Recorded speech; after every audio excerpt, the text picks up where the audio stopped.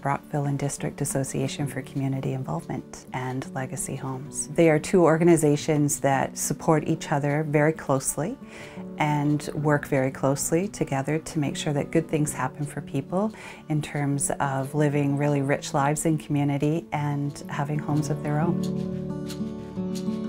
I lived this for two years. I feel like happier, not sad, in my own hometown. Makes myself breakfast.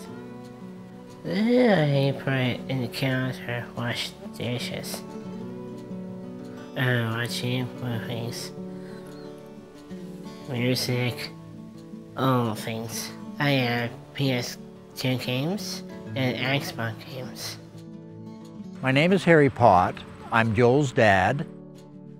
Joel is nonverbal. He needs people to speak for him when he's with other people. He has seizures, so someone has to be around at all times supervising him and just keeping an eye on things. And, and our support staff have been very good at picking up on things like, let Joel just do his thing. You don't need to be beside him. You just carry on with what you're doing and just keep an eye on him. If he has a seizure, you may have to help him that kind of thing. But don't stifle him and don't try to tell him what to do because he won't listen to you anyway. From a very early age, we did a lot of mapping and planning in terms of what is Joel's life going to look like down the road.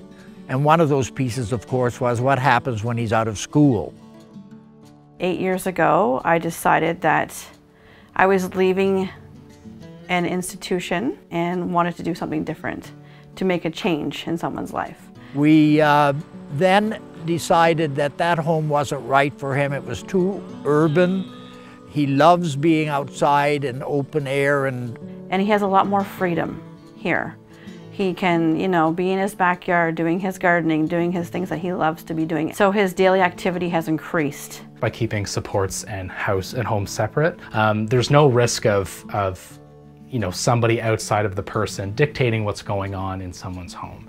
So by keeping things separate, the person whose home it is have a, have a choice and, and control over who and how and what gets decided in their home.